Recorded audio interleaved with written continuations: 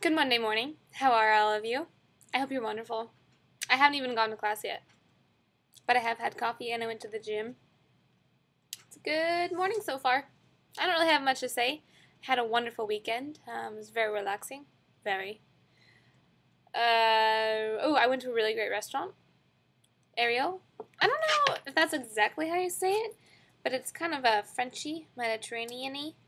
It's in a really cute, quaint. I'm trying to find the card to it in my wallet right now.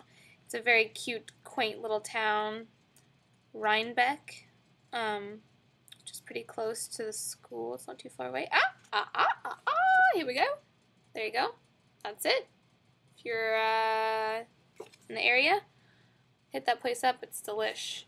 Went there with Alana Taylor and had a bunch of appetizers. I mean, we got grilled octopus, calamari, beet goat cheese salad, frites, very good dipping sauce. Um, the fried artichoke hearts, oh, yummy. Yeah. Okay.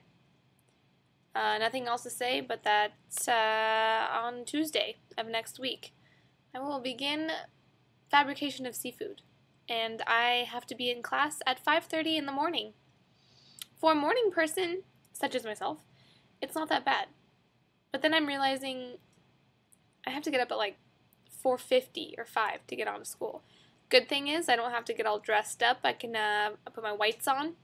That's all I have to wear. Throw my hair back. So it's not that uh, bad. I hope you guys had a great weekend.